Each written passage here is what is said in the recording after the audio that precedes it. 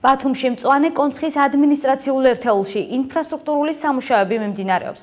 ბათუმის მერიის ინფორმაციით, თამარ მეფის გამზირის მესამე შესახვევში ახალი სპორტული მოედანი მოეწყობა. უწყების ცნობითვე, ქალაქის მასშტაბით წელს სპორტული მოედნების მშენებლობა რეაბილიტაცია 21 მისამართზე განხორციელდება.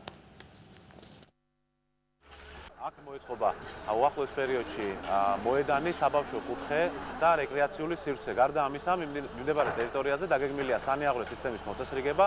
საერთო ჯამში ქალაქ ბათუმის მასშტაბით წელს 21 მოედნის რეაბილიტაცია მოხდება, რაც განსაკუთრებით მნიშვნელოვანია ჩვენი ქალაქის სპორტული, ესე რომ ვთქვათ, მიმართულებისთვის.